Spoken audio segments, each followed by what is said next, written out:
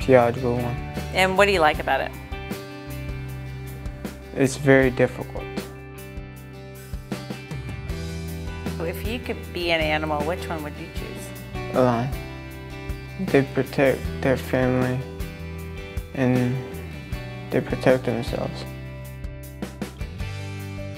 If you could go visit any other place, do you, where would you like to go? Wisconsin. If you could choose three words that describe you, what would you choose? Love, caring, and hopeful.